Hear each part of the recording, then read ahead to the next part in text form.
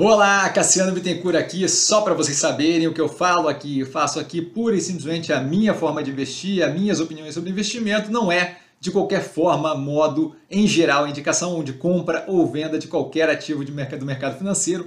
E agora o vídeo, valeu! Olá, Cassiano Bittencourt, pelo Visão do Estrategista, neste momento para fazer a derradeira Grupo Casas Bahia aqui na área, a operação Ecossistema de Varejo, tá? Dona da Casas Bahia, do Ponto, fabricação de imóveis, Bartira, tá? Com parte financeira forte através do, ben, do Bank, tá? O Bank, Bank e logística com forte evolução, tá? A gente vai entrar em cada um desses pontos. No terceiro trimestre de 2023, que está aqui embaixo na descrição desse vídeo, tá? O link, é, o, a gente teve o primeiro movimento da reestruturação, tá? Afetando fortemente as contas da empresa, com toda a explicação desse movimento lá no vídeo. Tá? De modo que aqui a gente tem um acompanhamento do andamento, a gente não vai entrar em todo o processo do começo da estruturação, porque tem bem explicado, com anedota, metáfora e o diabo a quatro no vídeo anterior. Tá? O vídeo do terceiro trimestre de 2023 se faz necessário para a compreensão do andamento como um todo. Tá? Uma vez que eu vou ser mais sucinto aqui, quando eu vejo sucinto, foi porque eu comecei a fazer análise e pensei sucinto, mas isso daqui claramente não vai ser sucinto, isso daqui vai ser alongado porque tem bastante coisa para explicar, mesmo focando só nos pontos mais relevantes, que é o que vai ser feito. Tá? Dado que se trata, esse foco nos pontos mais relevantes vai ser dado que se trata justamente, justamente, eita, justamente da continuidade no processo já iniciado. Tá? Eu não vou fazer novamente toda a explicação com metáforas e blá blá blá, indo da construção civil à prática médica, que foi o que foi feito no trimestre anterior, tá? porque eu não vejo sentido. Lá está explicado, não tem necessidade. Tá? Isso dito, a gente começa com a estrutura de acionistas na tela para o pause, tá? Para quem quiser dar uma olhada.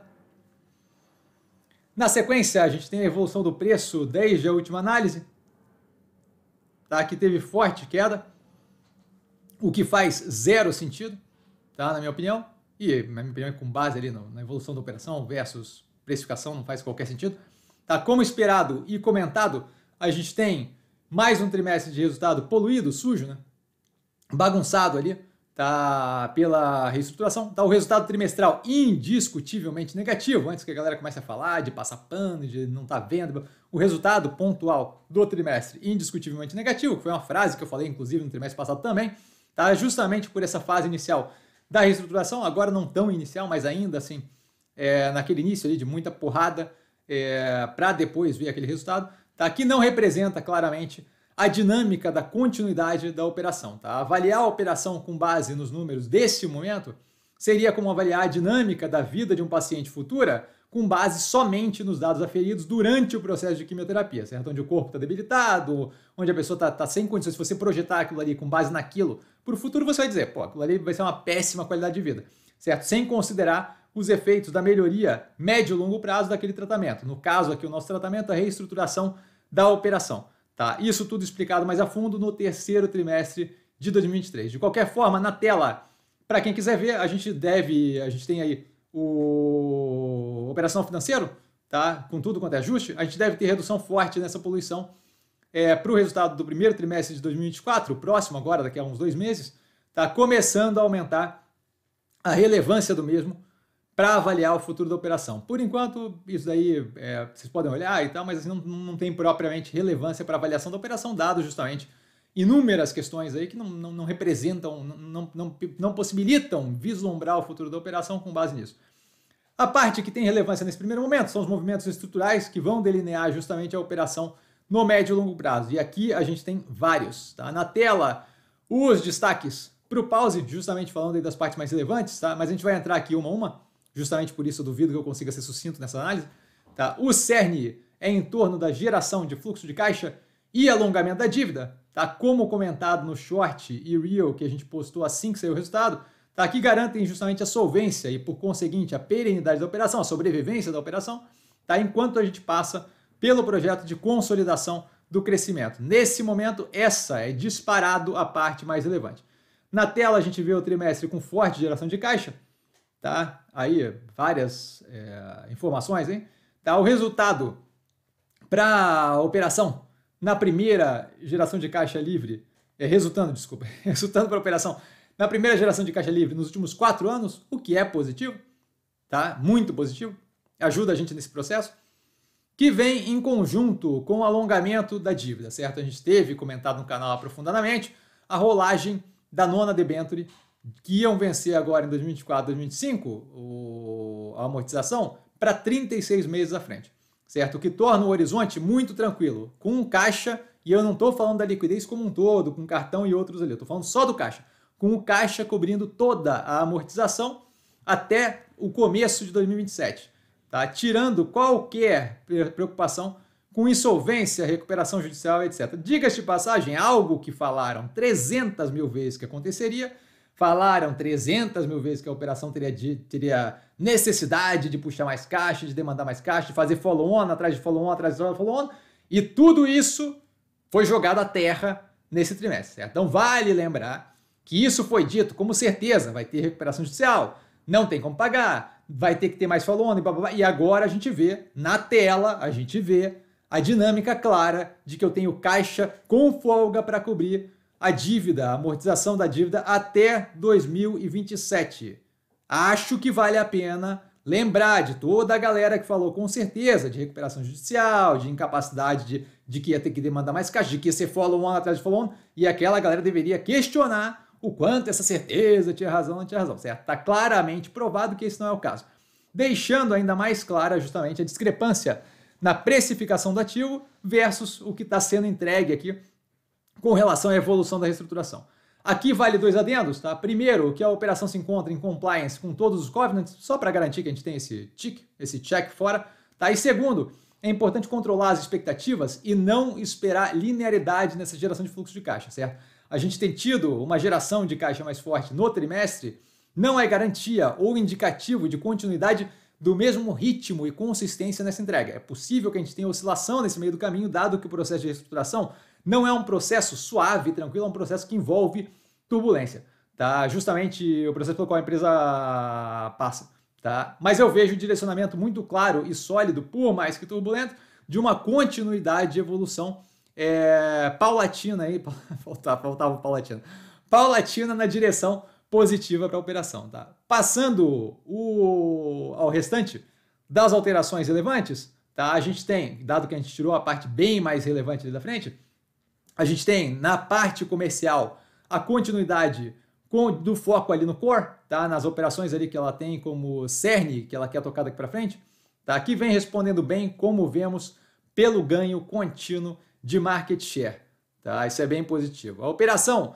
já deixou 23 categorias de lado, tá? De, de produtos no, no 1P, tá? Que passam a ser atendidas apenas pelo 3P. O que, que significa dizer? Eu deixo de eu fazer estoque, me preocupar comercialmente com é, propaganda e venda e por aí vai de 23 categorias que não me interessam, que não são positivas para mim, que eu estava vendendo com base no subsídio incentivo B2B, tá? As outras é, empresas. E a galera que tem interesse em operar esse tipo de negócio, que tem aquele tipo de molde, opere com o 3P, não a gente aqui lidando com esse tipo de coisa, certo? Podendo focar ele na parte justamente do core deixando de demandar esforços maiores da empresa, tá? sem subsídios para terceiros e com forte redução de incentivos B2B, como dito, tá? mas ainda assim com um novo mecanismo de apoio criado, que acaba sendo um possível motor aí de, de crescimento para a gente, tá? que é a criação do Casas Bahia Ads, tá? de propaganda. Uma plataforma que auxilia no uso da audiência da Casas Bahia, tá? que tem bastante força ali, visita direto, bastante gente no site o tempo todo, tá? para auxiliar justamente as operações de 3P que vão operar, por exemplo, aquelas 23 categorias que foram descontinuadas por nós, que a gente não opera mais. Tá? Na parte de estoques, a gente tem agressiva redução. Tá? É importante notar a dinâmica da mesma, não é só a questão de reduzir o estoque, tá? mas a dinâmica que acontece com forte redução no estoque de menor giro, certo? O estoque que eu vendo menos, tá? estoque acima de 90 dias, tá? em 63% ano contra ano, reduzindo justamente o custo de carregamento desse estoque, que fica lá estocado, ocupando espaço, não tem giro, certo? E também a obsolescência. Se eu não consigo vender um negócio por 90 dias, dependendo do que é, eu começo a ter perda de relevância daquilo ali versus a demanda do consumidor. Tá? Os abaixo de 90 dias, que tem giro forte, com redução apenas de 2%, o que garante aí não rompimento né, nessa demanda do cliente versus o que eu tenho para entregar na loja, melhoria forte no giro como um todo. No SG&A, despesas gerais com vendas e administrativas, a gente também tem forte evolução, Tá? Redução de 42% nos cargos de alta liderança, o que mostra justamente a disponibilidade deles de arrancarem cabeça, uma vibe Highlander. De arrancar Highlander, eu acho que uma galera que é mais nova não vai entender do que eu tô falando. Uma vibe, procurem Highlander no, na internet. Uma, uma vibe Highlander, tirando a cabeça ali de gente de alta liderança, tá? Quando a gente fala total, uma redução de aproximadamente 20% dos quadros da companhia, de funcionário, Tá? Isso daqui não é claramente divisão de serviço público, aqui é a raquetada, escreveu, não leu analfabeto, tá? resultando em forte redução da despesa de, pessoais, de, de pessoal, aproximadamente 18%. Isso daqui claramente vai impactar lá na frente, quando a gente tiver algum nível de visibilidade do resultado, tá? na qualidade da entrega do resultado operacional.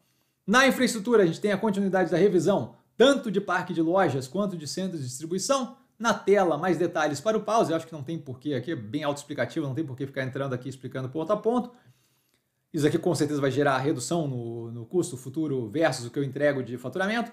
Tá? Na parte da, das alavancas para geração de caixa, a gente tem forte redução do capex, investimento. Ah, Cassiano, mas isso daqui não vai acabar com a empresa no sentido de não vai evoluir? Não, não, não vai.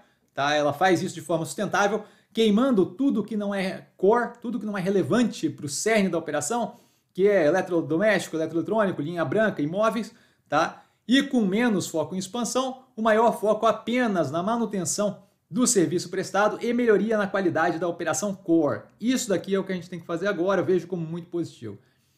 Isso com continuidade do esforço de monetização dos créditos tributários, e aí também, super autoexplicativo, na tela para informação, não tem como ter muita previsibilidade, como falou o CFO, é, de quanto a gente consegue ou não consegue é, validar isso aqui no, no, nos próximos períodos, porque depende ali de validação pelo processo ali de, de venda de crédito tributário, tem que ter um carimbo ali do governo e por aí vai.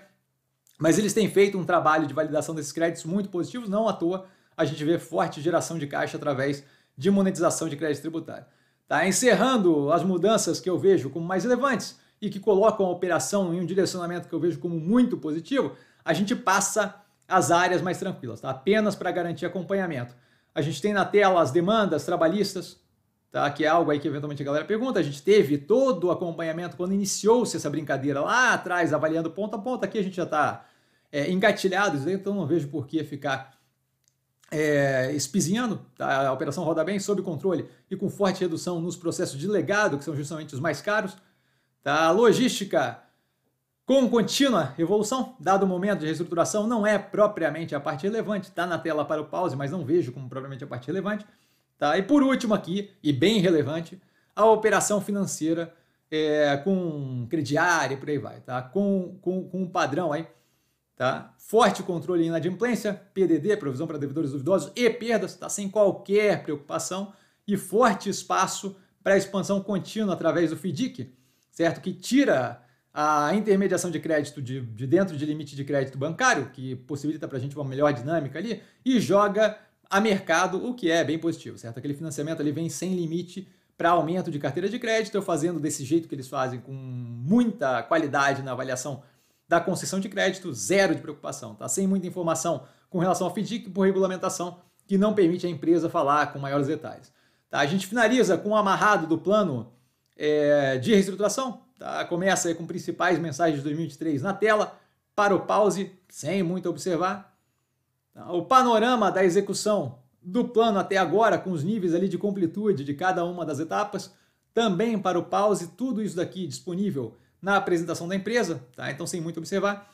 A visão de curto prazo da empresa para as próximas medidas, na tela, essa que eu acho que é mais interessante, que é justamente o que deve acontecer nos próximos dois, três trimestres. Tá? E fechando ali com as perspectivas, com as expectativas, perspectivas, como vocês preferirem, para o longo prazo. Isso tudo vale lembrar. Ah, é só um plano. É só um plano, mas a empresa tem executado mais rápido do que o planejado e tem feito um planejamento extremamente conservador de tudo o que estava se esperando. Tá finalizando agora efetivamente, tá, o meu direcionamento continua o mesmo da análise passada, agora com um horizonte ainda mais claro e mais aberto. Tá, eu vou continuar aumentando posição, mediante desconto no preço e disponibilidade de caixa, tá? E sempre mantendo em mente que é um processo longo, é uma maratona, não são 100 metros rasos. Vieram me perguntar, ei, você não vai aumentar a posição? Eu vou aumentar a posição à medida que as coisas vão se mostrando ali. É uma, uma possibilidade mais interessante. A gente viu o ativo bater aí 5,90 e poucos, acho, agora há pouco, é, não, não, não tem por que ter pressa para aumentar preço agora, que acabou de subir é, 7, 8% recentemente. Então, assim, sempre levando em consideração que eu tenho um horizonte longo aí, mas será aumentado muito possivelmente na base da raquetada, que foi justamente o aumento que foi feito entre o terceiro trimestre e o quarto trimestre, que eu já vou comentar ali embaixo. Vejo a operação é, com totais condições de realizar a reestruturação, está chegando do outro lado com uma operação bem melhor do que a gente tinha, que a galera tende a falar que era um lixo, mas não era, entregava margens bem casadas com varejo, quando a gente tinha anteriormente, tá? e que deve eventualmente se refletir na evolução do preço de forma bem agressiva. Continuo zero preocupado, agora tem até camiseta na loja do canal.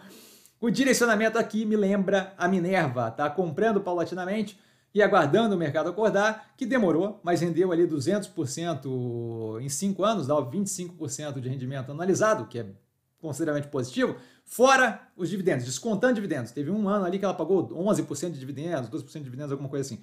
A minha posição tá aqui do lado, eu sei que assusta. Eu fiz o cálculo do preço médio aqui pra galera, pra galera que eu sabia que a galera ia ficar empolgada.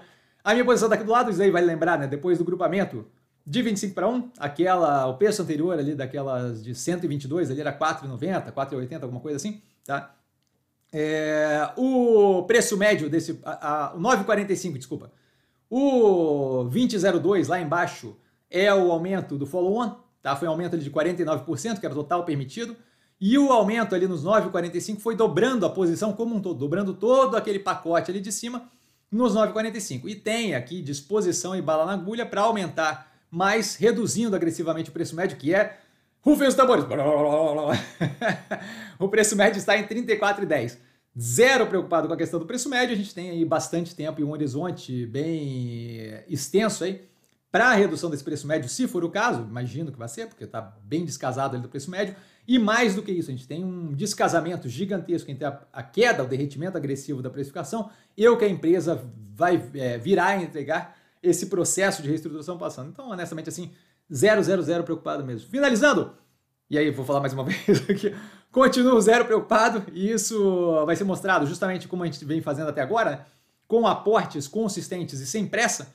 Tá? O processo de reestruturação é complexo. É, só um pouquinho, eu vou botar aí na tela, eu sempre faço, eu acabei esquecendo. Eu vou botar aí na tela justamente o aumento de posição com aquele desenho bonitinho e tal, só para mostrar ali qual foi o, aumento que a gente teve. A gente teve a dobrada de posição nos 9,45 entre o período passado e esse período. Eu sinto muito aqui, eu não vou ficar editando o vídeo para fazer esse pedaço especificamente, então está aí na tela. Agora sim, finalizando, continuo zero preocupado. Isso será mostrado com aportes consistentes e sem pressa, como tem sido feito, tá? Inclusive esse daí que eu mostrei agora. O processo de reestruturação é complexo, entendo que seja difícil avaliar. Olhando a operação, vendo médio e longo prazo e pensando da forma que o mercado geralmente pensa, certo? Aqui não é uma vibe muito, ah, lucro subiu, lucro saiu, caiu, então é positivo, negativo. Tá? Mas eu vejo a tese muito bem alinhada com um horizonte mais claro e aberto agora. Tá? Tem desafio? Claro que tem, tá? mas eu não vejo impeditivo algum para atingir os objetivos e vejo o caminho, a, a operação já bem encaminhada. E o preço está absolutamente ridículo, fora da casinha. E dúvida? Dúvida eu tô sempre no Instagram, arroba investir com sim, só ir lá falar comigo. Não trago a pessoa amada, um exemplo tirando dúvida. E vale lembrar que quem aprende a pensar bolsa opera, como mero detalhe, um grande beijo a todo mundo e nos vemos aí nas próximas análises. Essa daqui comeu um pedaço da minha vida. Valeu, galera, beijão!